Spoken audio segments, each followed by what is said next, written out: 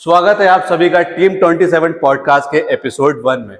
ना हंसूँगा, ना हंसाऊँगा, इस पॉडकास्ट पे सभी को बुलाऊँगा। अब जो शख्सियत हमारे बीच आने वाली है, वो बहुत ही डाउन टू अर्थ बंदे हैं। आपने उन्हें हर कहीं देखा होगा। मेट्रो में, बस में, रेलवे स्टेशन पर। उनकी फ़ाइल फॉलोइंग का तो कोई कहना नहीं। जैसे आजकल उनके हालात हैं तो आपने उन्हें ई शिक्षा में भी देखा होगा। तो इसी बीच बुलाना चाहेंगे रंगा भैया को। इनका खानदानी पेशा है चोरी, ऊपर से सीना जोरी। तो आपकी जोरदार ताड़ियों से स्वागत करते हैं रंगा भैया का। तो रंगा भैया, मैं ये जानना चाहूँगा कि आप किस विकल्प से आए?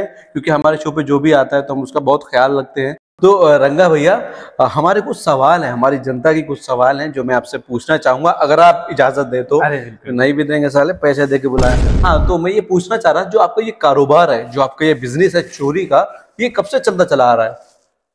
जब से मैं पैदा हुआ हूँ। जब से पैदा हुआ हूँ वाह। पूर्वजों से दादा पर दादाओं से चलता चला आ रहा है। दादा पर दादा पहले कोयले वाली ट्रेन चलती थी। जी जी जी। तब से दादा पर दादा चोरी करते चले आ रहे हैं। अच्छा कोयले वाली ट्रेन। अच्छा मैं ये जानना चाहूँगा ये कोयले वाली ट्रेन में क्या चुराते थे आपके दादा?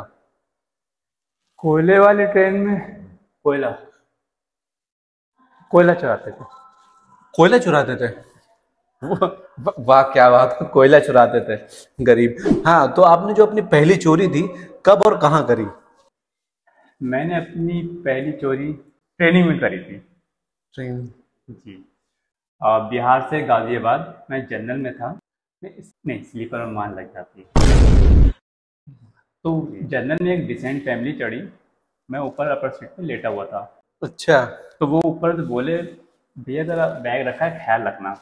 मैं बोले ये तो सोने पे सुहागा हो गया। तो मेरे पास ना चाकू था ना ब्लेड था कुछ नहीं था मेरे पास। पेन था पेन पेन की नोक होती है पेन पे मैंने चैन पे रखी। ना चैन खुल गई माली माल। तो फिर मैंने वहाँ पहली चोरी करी थी वो मेरी पहली चोरी थी। क्या बात है क्या बात है पहली चोरी। ऑडियंस को भी मज़ा आया होगा। सुन के आपकी पहली चोरी। तो रंगा भैया हमारे ऑडियंस और हम ये जानना चाहते हैं आपको पहले ज़्यादा मुश्किल होती चोरी करने में या अब? क्योंकि डिजिटल जमाना हो गया है हर जगह सीसीटीवी कैमरे लग गए घर में मार्केट में मॉल में तो आप कैसे चोरी कर पाते हैं? CCTV camera? भाई साहब सीसीटीवी कैमरा मेरा झट कबाल सीधा नहीं कर पाते हैं। भाई साहब कॉन्फिडेंस क्या बात। भाई साहब मुश्किल तो हो गया है। इन बाबू शोना की इंस्टाग्राम डंडिया पर सोशल मीडिया बहुत मुश्किल हो गया। भाई साहब दर्द है। भाई साहब मैं आपको एक बात बताता हूँ। एक बार चोरी करने गया भाई साहब इतना बड़ा करता हूँ चार कमरे थे। पहले कमरे पहुँचा मैंने देखा। नहीं नहीं नहीं नहीं रंगा भाई ये ये सब नहीं। भाई साहब फैमिली शो है। भाई साहब पूरी बात तो सुन लो। बंदा अपनी बंदी को चुम्मे दे दिया। फिर मैंने सोचा रंगा भैया यहाँ से निकल लो वरना बहुत मान लेगी। फिर मैं दूसरे रूम में पहुँचा। मैंने देखा चिड़िया उड़ा रही है। मैं समझ गया बेंच इंस्टाग्राम का कीड़ा है। मैं वहाँ से पलटी हुआ। फिर मैं तीसरे रूम में पहुँचा। तब मैंने पता क्या देखा? बंदे का कंबल हिल रहा था। अरे रंगा भैया उसे ठंड लग रही होगी। समझ रहे हो? कंबल हिल रहा था कंबल। अच्छा वो वो- वाला कंबल? कंबल हाँ। तो रंगा भैया फिर आपने चोरी करी कि नहीं?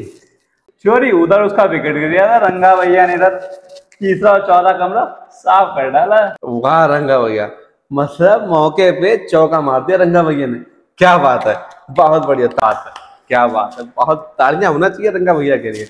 अच्छा रंगा भैया मेरा क्वेश्चन है आज तक आपने कोई यूनिक चीज़ चुराई है? मतलब एकदम हटके ऐसे मैं आपको क्या बताऊँ? वैसे तो मैंने बहुत यूनिक चीज़ें चोरी करी। लेकिन हाँ मैं आपको एक बात बताता हूँ। एक रात में एक घर में घुसा चोरी करने। भाई साहब, पूरा कमरा खाली। ना मुझे वहाँ दिखी तिजोरी, ना मिली मुझे वहाँ अलमारी। फिर मैं समझ गया, ये किसी एक लड़की का रूम है। मेरी नज़र पहुँची तकिए पे। क्योंकि आजकल की लड़कियाँ ना, पैसे तकिए के नीचे छुपा के रखती हैं। जैसे ही मैंने तकिए के नीचे हाथ डाला, मुझे लंबा यंत्र मिला। मैंने घोटे में दबाया, मैं वहाँ से एक, दो, तीन। फिर मैंने सुबह में जैसे उसका बटन दबाया, भाई साहब, ऐसे ऐसे फनफना दिया। दो दिन तक हाथ में लचक रही है। दो दिन तक। मुझे लगा चाय जे अमीरों की मत नहीं है। क्यों ना जी दही फेंट कर लस्सी बना ली जाए। रंगा भैया? वो अमीरों की मथनी नहीं थी वो अमीरों की हथनी थी। लेकिन लस्सी बड़ा मज़ा आया। तो आज का पॉडकास्ट यही खत्म करते हैं। रंगा भैया बहुत अच्छा लगा आप हमारे शो पर आए। आने के लिए शुक्रिया हमारे पॉडकास्ट पे आने के लिए और अपना कीमती वक्त देने के धन्यवाद रंगा भैया तो देखा आप लोगों ने रंगा भैया कितने कितने अच्छे विचारों के हैं कितनी अच्छी सोच है उनकी। तो आप लोग बने रहिए मिलते हैं टीम 27 पॉडकास्ट के साथ एपिसोड टू में। का, काफ़ी वक्त ले लिया। अबे वक्त अबे मेरी घड़ी चुरा लेंगे। चोर बहुत तो हेलो गाइस अगर वीडियो अच्छी लगी हो तो प्लीज़ लाइक करें कमेंट करें और शेयर करें। अपने दोस्तों फैमिली में सबको शेयर कर दें। और जो लोग नए हैं वो जाके सब्सक्राइब करें शेयर करें कमेंट करें। कैसे लगे आपको रंगा भैया? कैसा लगा हमारा पॉडकास्ट और प्लीज़ चैनल को सब्सक्राइब करें। नहीं करा तो प्लीज़ ज़रूर कर लें और बेल आइकन ज़रूर दबा दें। तो मिलते हैं पॉडकास्ट के दूसरे एपिसोड में। और कुछ।